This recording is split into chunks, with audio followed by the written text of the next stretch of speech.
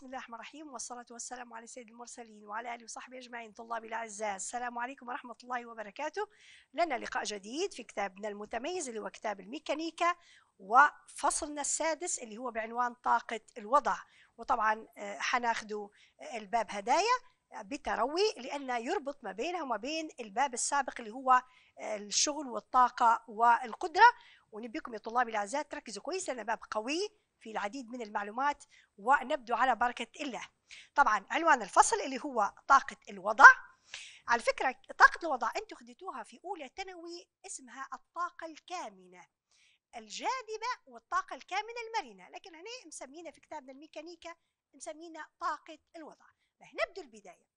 إحنا آه، عندنا العديد من الأهداف. يعني كل باب لازم يكون عندنا أهداف متميزة. الأهداف هدية هذا الفصل يميز ما بين نوعين من القوى قوة يطلق عليها بالقوى المحافظة والقوى الغير محافظة. به إن القوى المحافظة هي مصدر تخزين الطاقة وحنعرف إن شاء الله لما ناخدوا تعريفها شن قصدة بكلمة مصدر لتخزين الطاقة. طلابي الأعزاء عندما تنتهوا من هذا الفصل من دراسة هذا الفصل لازم يكون عندنا المعلومات الآتية. كيف نحسب الشغل المبذول بواسطة قوة ثابتة مؤثرة على جسم يتحرك في مسار منحني. ركزوا كنا الحركة كانت خط مستقيم المرة هذه مسارنا منحني. أيضا نعرف الفرق ما بين الكلمتين اللي قلنا عليهم القوتين. شنو الفرق ما بين كلمة القوة المحافظة والقوة الغير محافظة؟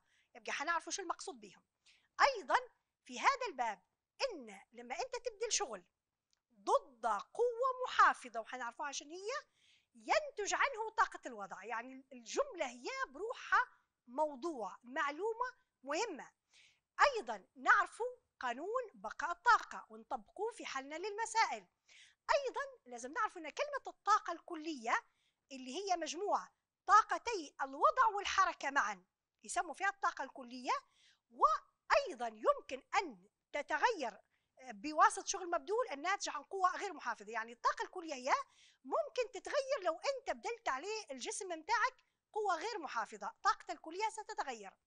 هذه الأساسيات يا طلابي اللي حناخدوها في هذا الفصل. حنبدو البداية. أول حاجة براجعه شوية من الأول لأن لازم نربط الموضوع مع بعضه.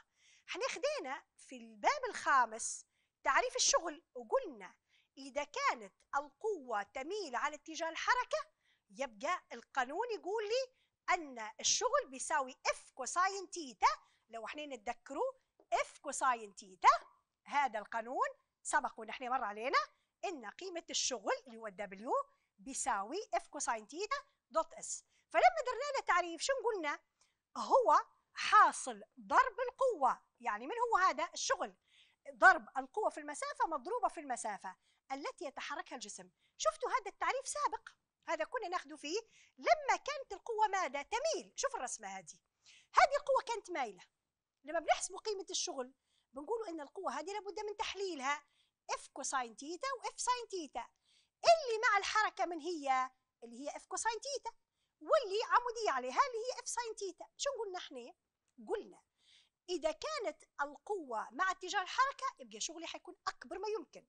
وإذا كانت عمودية الشغل بيساوي صفر.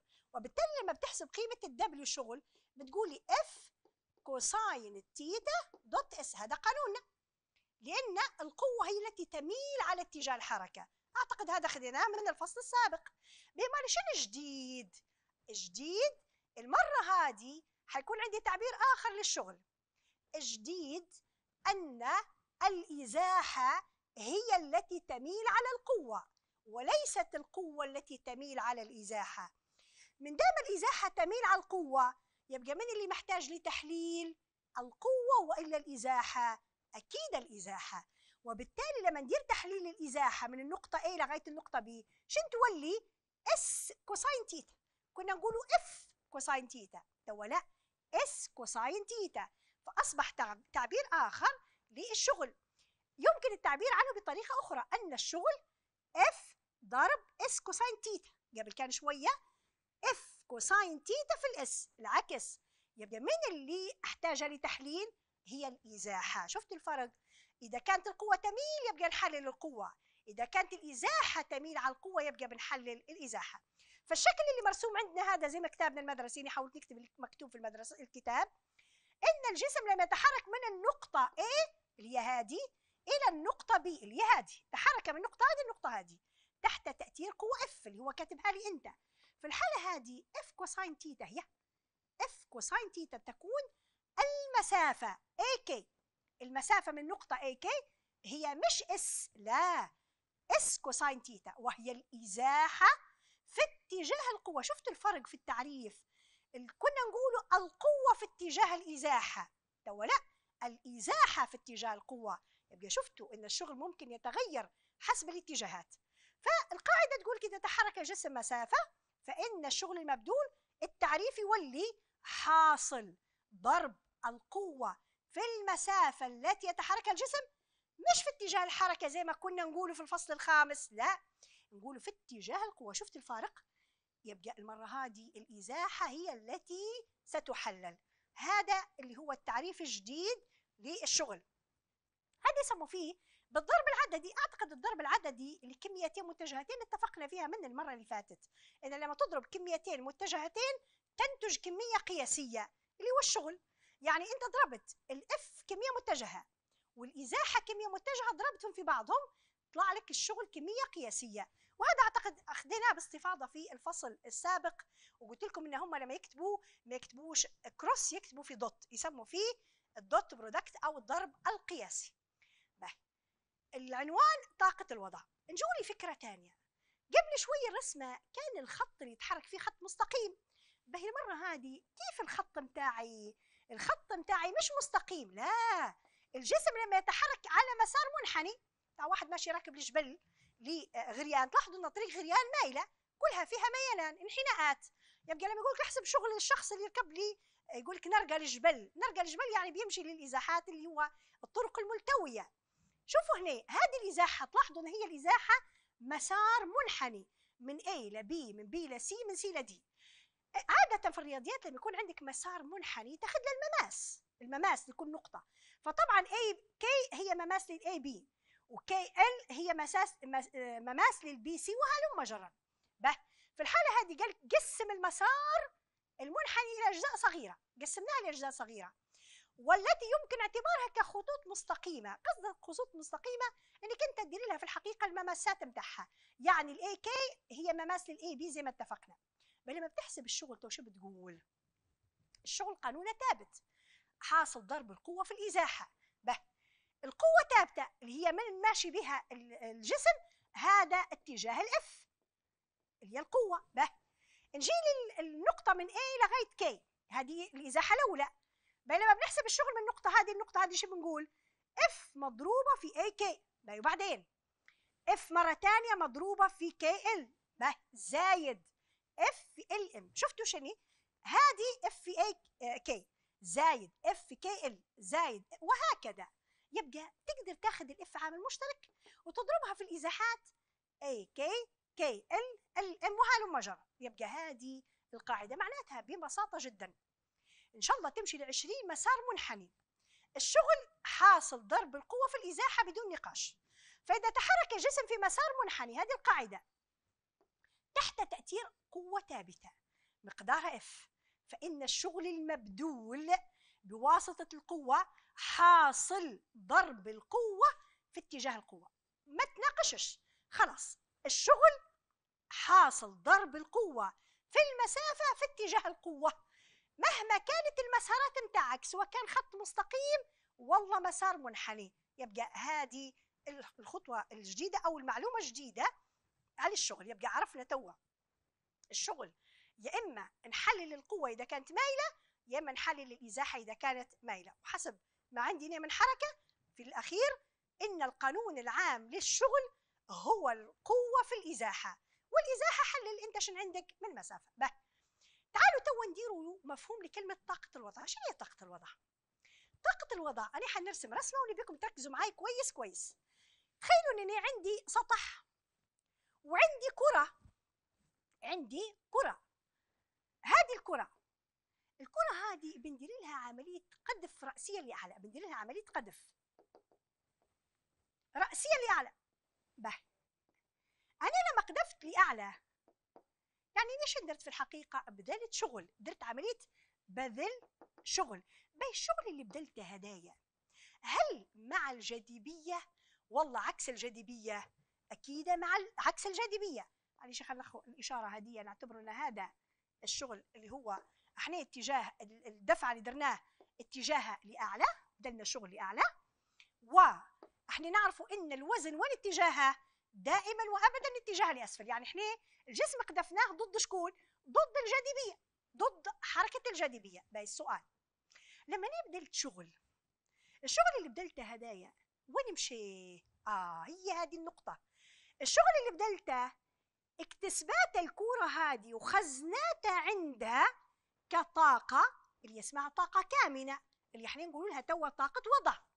فالكرة لما وصلت لأعلى نقطة في المسار أعلى مكان وصلت للكرة مثلا هنا في الحالة هذه الشغل اللي بدلته هو وين؟ قال لي تخزن وين تخزن؟ تخزن عندها على شكل ماذا؟ على شكل EP اللي هي طاقة وضع باهي الشغل أنت تعرفه W يبقى EP باهي ممتاز يبقى اذا نقدر نقول لك لما ندير لك تعريف لطاقة الوضع شو بتقول لي؟ بتقول لي طاقة الوضع نتجت عن شغل مبذول ضد قوة الجاذبية الأرضية. يبقى طاقة الوضع هي الطاقة التي امتلكها الجسم نتيجة لوضعه. شو معنى وضعه؟ يعني ركزوا على ارتفاعه عن سطح الأرض. أنت تقذف جسم لأعلى ضد الجاذبية. الشغل اللي بدلته خزنها الجسم على شكل طاقة وضع. إذا تعريف طاقة الوضع بسيط جدا. هي الطاقة التي يمتلكها الجسم نتيجة لوضعه معنى وضعه يعني ركزوا على الكلمة ارتفاعه عن سطح الأرض. هذه تعريف طاقة الوضع. إذا هي الطاقة التي امتلكها الجسم يمتلكها الجسم نتيجة مني؟ نتيجة لوضعه. شو قصدك بوضعه؟ نتيجة لارتفاعه عن سطح الأرض. هذه الجملة مش مهمة فوق المهمة لحل المسائل. معناتها أي جسم يا طلابي الأعزاء يرتفع عن سطح الأرض يكتسب طاقة وضع. أي جسم موجود على سطح الأرض طاقة وضعه صفر. يبقى أي جسم أبدلت عليه شغل الشغل خزنة على شكل طاقة وضع. كنا نقول طاقة كامنة مرنة يبقى هذه طاقة كامنة جاذبة في الحقيقة وليست مرنة جاذبة اللي هي عن طريق الجاذبية الأرضية. به. نقدر ندير تعريف آخر لطاقة الوضع. شنو هي؟ أو هي الشغل المبذول. شفتوا كيف قلت أنا توا؟ هي الشغل المبذول. في كلمة مهمة ضد. يعني لازم يكون شغلك ضد. من قوة الجاذبية مش مع قوة الجاذبية الأرضية. ينتج عنه طاقة وضع. عندك تعريفين لطاقة الوضع يا طلابي عندكم تعريفين؟ ركزوا عليهم.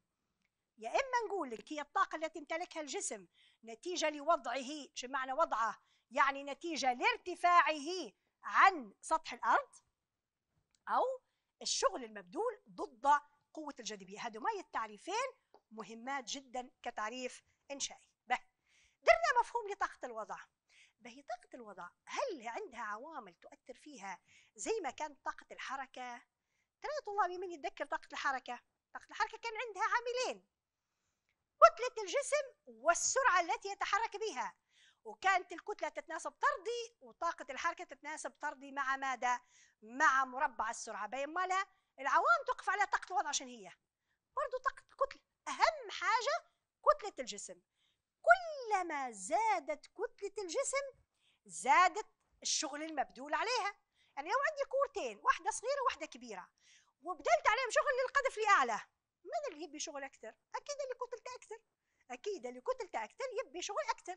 إذا أول عامل العلاقة العلاقة طردية ما بين الإي بي والإم يبقى شنو العلاقة؟ العلاقة طردية. كويس. بهذا العامل الأول. فزي وجاي قال لك سؤال في الامتحان. إذا تضاعفت كتلة الجسم المقذوف إلى أعلى فإن طاقة وضعه بنقول تتضاعف. به إذا قلت كتلة الجسم المقذوف إلى الربع فإن طاقة وضعه تقل إلى الربع بنفس القدر. يبقى العامل الأول كان الكتلة بين العامل الثاني. آه. الارتفاع مش قلنا إحنا قبل شوية إن الجسم باش يكتسب طاقة وضع لابد من إني نقذفه ضد الجاذبية يعني لازم ما يرتفع لأعلى ما عندهاش حل تاني.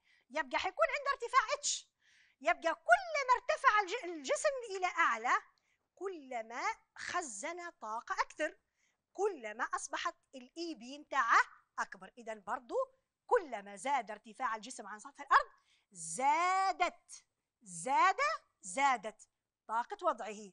إذا الإي بي تتناسب طرديا مع ماذا؟ مع الإتش اللي هو الارتفاع. بل لو جاء قال لي إذا ارتفع الجسم إلى ضعف الارتفاع الأصلي فكم تكون طاقة وضعه؟ بنقول تتضاعف بيقل ارتفاعه إلى نصف الارتفاع الكلي بنقول تقل النصف لماذا؟ لأن كلا الحالتين العلاقة شنو هي؟ العلاقة طردية باهي لما درنا تو العاملين في الرياضيات يقول لك لما تجي تدير عاملين بتدير قانونك شنو هو القانون؟ قانون حساب الطاقة ألا وهي طاقة مني؟ طاقة الوضع يا طلابي من يقول لي طاقة الحركة شن كانت؟ ال EK شن كانت؟ EK من يتذكرها؟ ننتظر واحد نص MV تربيع. هذه من هي طاقة الحركة. باهي طاقة الوضع MGH. واحد يقول لي باهي آه انت كتبتي G هنايا. خير ما درتيهاش من ضمن العوامل. شو قلنا على ال G يا طلابي؟ شو قلنا على عجلة الجاذبية الأرضية؟ عجلة الجاذبية الأرضية ثابتة. وهذا الرقم الوحيد. اللي مبشركم بيه حطوه لكم في ورقة الامتحان فوق. اعتبر عجلة الجاذبية 10 متر على second تربيع. هذه الهدية الوحيدة اللي بيحطوها لكم في الامتحان. تلقوها تستفتحوا بها في ورقة الامتحان. لأنها ثابتة ما لهاش علاقة لا بالكتلة ولا بالارتفاع. ركب انزل زاد انقص سمن ضعف ما ليش علاقة. يبقى إذا قانون طاقة الوضع MGH يبقى العاملين. هي الكتلة والارتفاع. باهي. من عرفنا العوامل. شو ما زال عندنا؟ ما زال عندنا وحدات القياس. باهي وحدة قياس طاقة الوضع شنو هي؟ طاقة الوضع الجول ما منين جبناه؟ شو قلنا على تعريف الطاقة؟ قلنا هي المقدرة على بذل شغل. باش وحدة قياس الشغل يا طلابي هي الجول. يبقى أي طاقة في الطبيعة كهربائية ميكانيكية ضوئية صوتية حرارية و و و جول بدون نقاش. طاقة الوضع إحدى أنواع الطاقة بالجول. بالجول هدايا فيه وحدات تعادله. أي نعم. الجول نيوتن متر كيلو جرام متر تربيع second أس ناقص اثنين ترى منين جاي؟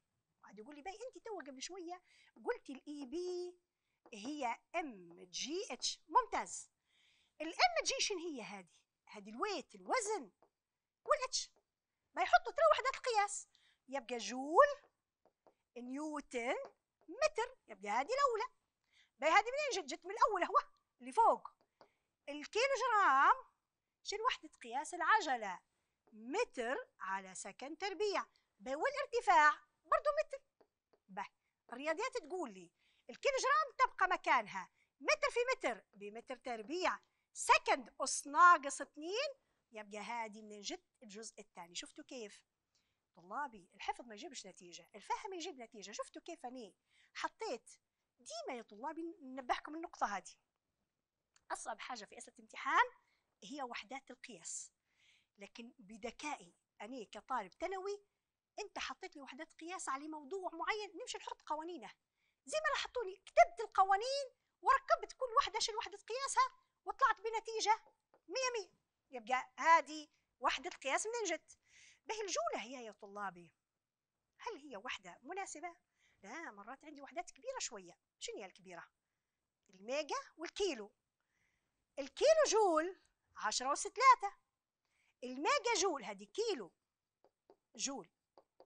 وهذه ميجا جول. M capital الميجا وليست مايكرو. ميجا كبيرة عشرة أس ستة جول. يعني علاش ديما نحط فيهم هادو معايا لأن في الأسئلة متاع المسائل ديما يستعينوا بالبادئة. الكيلو يستعينوا ببادئة الميجا. يعني مرات الحل لما يلقاه آه، وضع الامتحان يلقى الأصفار هلبة والارقام يقول خلي ترى ندير لهم بادئة من البوادئ هل هم الطلبة فاهمين البوادئ ولا لا؟ يعني هذه تعتبر مفاهيم. يبقى الكيلو لو لقيه في المسألة 10 أس ثلاثة نحاول نحط كيلو لو لقيت فيها 10 أس 6 يحطوا ميجا. هذه هي الفكرة والمفروض أنتم خلاص حافظينها. يبقى وحدة قياسها في النظام الدولي هذه مشتقات هذه وحدات أكبر من الجول. موضوع آخر. شفتوا كيف موضوع الباب هذا يشيق؟ بين العلاقة بين طاقة الوضع والحركة. هذه مش مهمة. هذه تعرفوا تديروا لها 7 star 10 والسبعة بالأسس. يعني فوق الميجا 10 ميجا.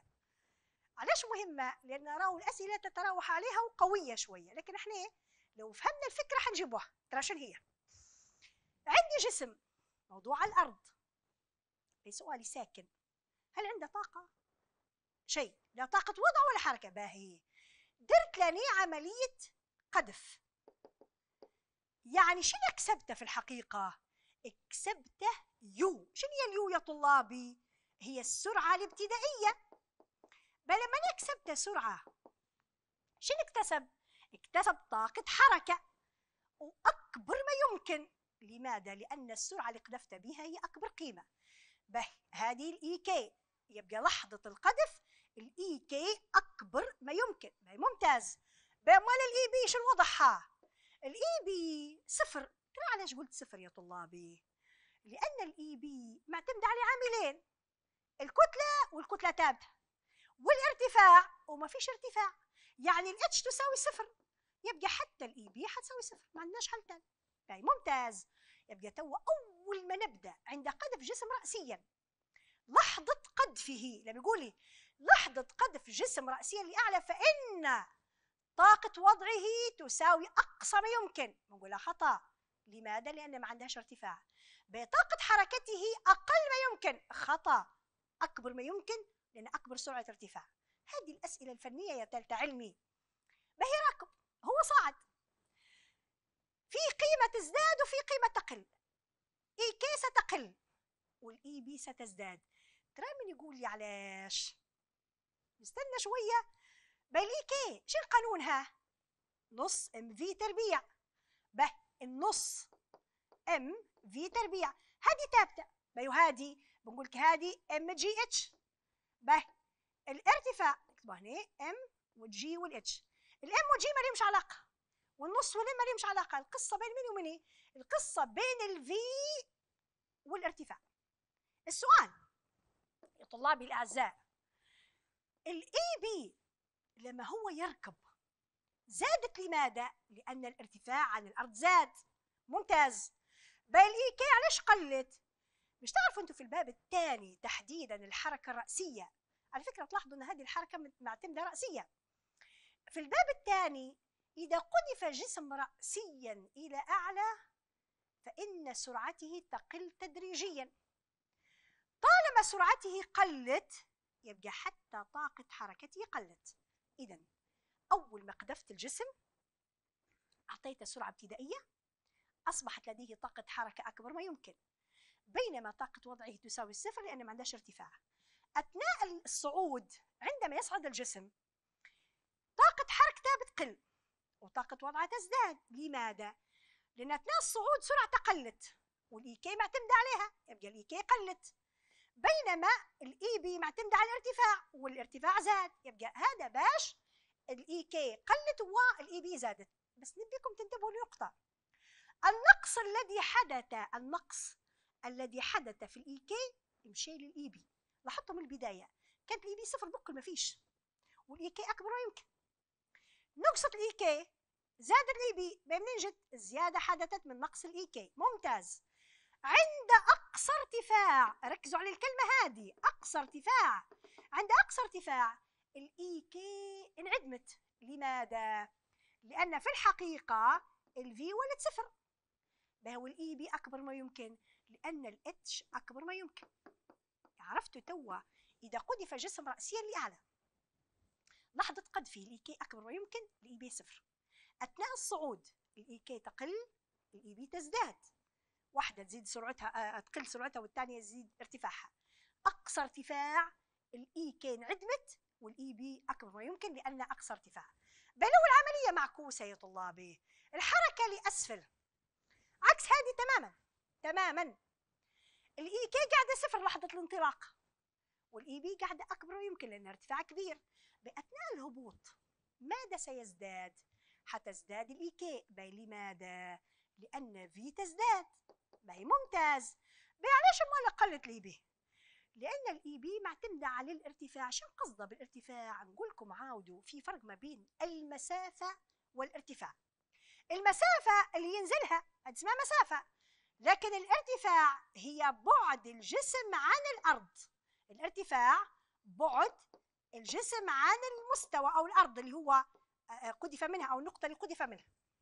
مادام بعده بدأ ينقص شوية شوية شوية حتى ال EP بدأت تنقص. ركزوا الفرق كبير بين الحالتين. أثناء الصعود الارتفاع زاد ال EP زادت. السرعة قلت ال EK قلت. في الهبوط العكس ال EP تقل لأن الارتفاع بدا ينقص لانها بدأت تقترب من الأرض. بينما السرعة زادت يبقى ال EK تزداد. لحظه الوصول للأرض ال EP انعدمت ما عادش في H ال EK أكبر ما يمكن لأن السرعة أكبر ما يمكن. طلابي راه مهمة هي. مهمة جدا جدا. ركزوا ركزوا. الحركة لاعلى عكس الحركة لاسفل اعتمدوا على حاجتين نبيكم تفهموها.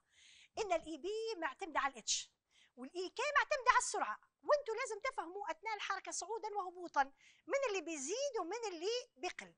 طلابي ركزوا عليها نعاود نقول لكم على النقطة هذه مهمة جدا جدا. ممتاز. ناخذوا العلاقة بين طاقة الحركة وطاقة الوضع المرة هذه في بندول. البندول أنتم تعرفوا البندول قصدة؟ خديتوه في الفصل الأول إنه عبارة عن خيط مربوط به آه، كرة زي بندول الساعة وهذه لحظة آه، آه، بداية انطلاقها هذا البندول عنده خيط عنده سلك ينتهي بكرة اللي يسمى البندول. باهي أنا جيت لهالكرة هذه ودرت لها عملية جذب درت لها عملية سحب. لما سحبتها وين ولت في مكانها الجديد ولتك يبقى لما سحبتها أنا أصبحت مرتفعة عن الأرض في H. باهي وكنت ماسكتها. كم ال EP هنا؟ أكبر ما يمكن. لماذا؟ لأن أقصى ارتفاع. بينما ال EK قداش؟ بنقول لك ال EK في الحقيقة صفر. لأنها قاعدة ماسكتها ما عندهاش سرعة. الجسم ثابت. يعني ال M ثابتة نفس ام يبقى نقول مرة ثانية. ال EP P اللي طاقة الوضع ال potential energy تعتمد على الارتفاع لجسم واحد وال EK معتمده على السرعة. شديتها عندها نقطة عندها ارتفاع عندها EP. ما فيش سرعة يبقى ما فيش EK وطلقتها. أثناء الهبوط ماذا سيحدث؟ افرضوا إن الكرة متاعنا هذه وصلت هنا باهي في الإمكان هدايا. شيل ال EK وشيل ال EP وضعهم؟ نقول لك ال EK تزداد. لماذا؟ لأن أصبحت لديها سرعة. يبقى تزداد. بينما شو بنقول لك بنقول لك تقل. لماذا؟ لأن ال H ولت أقل. ال H ارتفعت. كانت مرتفعة أكثر ولت أقل. به لحظة رجوعها لنقطة السكون اللي كانت عليها أصلا.